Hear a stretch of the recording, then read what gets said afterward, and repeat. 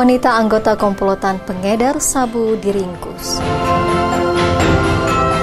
Sidang kasus mutilasi anggota DPRD ricuh. Kasus HIV AIDS di Bangka Belitung dilaporkan turun.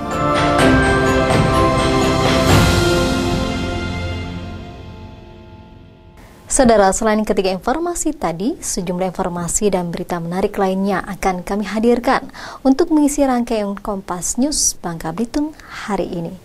Jadi pastikan Anda tetap bersama Kompas News Bangka Belitung selama 30 menit ke depan. Kita jelang berita pertama bersama saya Mita Janiarti. Inilah Kompas News Bangka Belitung selengkapnya.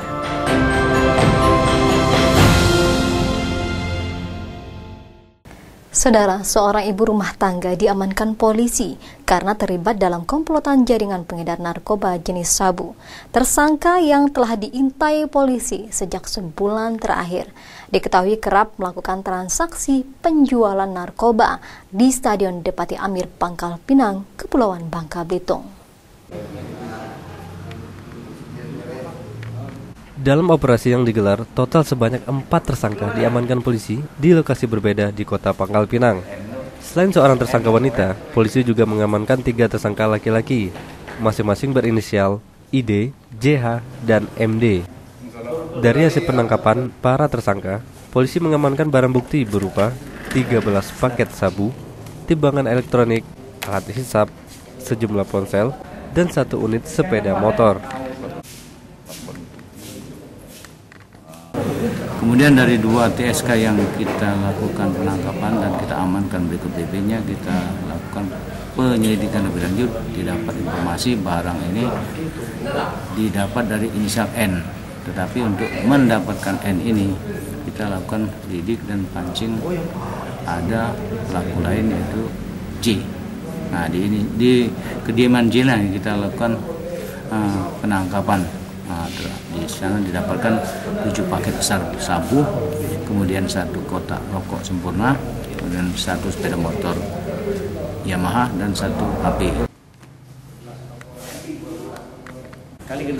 Dari hasil penyelidikan sementara, keempat tersangka merupakan satu komplotan yang menjual sabu secara eceran dengan paket kecil.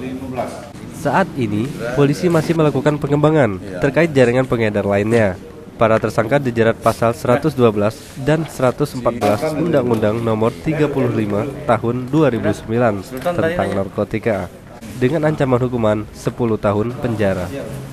Herudah Nur, Kompas TV, Bangka Pinang, Kepulauan Bangka Belitung.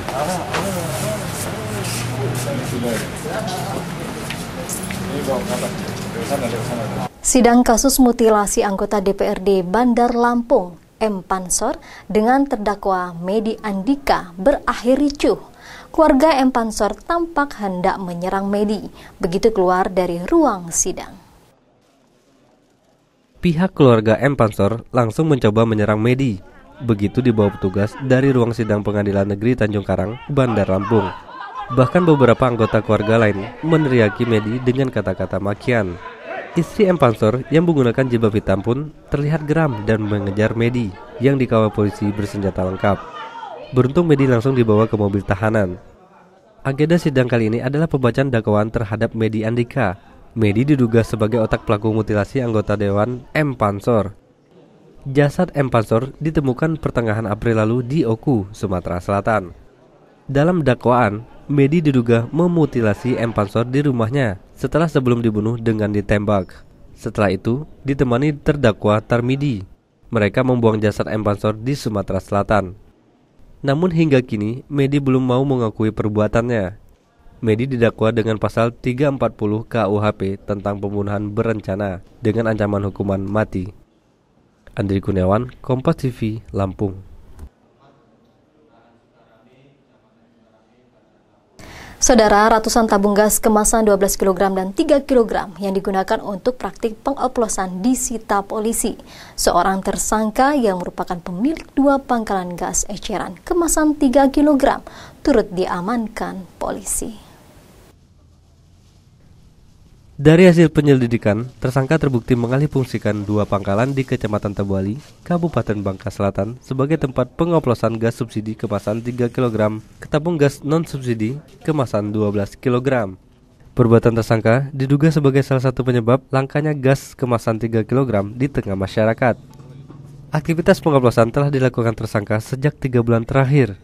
Total barang bukti yang diamankan terdiri dari 200 tabung gas kemasan 3 kg 40 tabung gas kemasan 12 kg, ratusan karet penutup tabung, serta pipa besi yang digunakan sebagai alat pengoplosan. Jadi untuk satu tabung laporan dari masyarakat tanggal 20 November kemarin kita melakukan penangkapan terhadap pengoplos gas LPG 3 kg ke gas LPG 12 kg. Ini eh, sudah berlangsung berapa lama ke ini pengoplosannya bang? Pengoplosan dari hasil pemeriksaan saksi-saksi baru sudah berjalan tiga bulan. Keuntungan dari setiap tabung itu berapa kau dapat?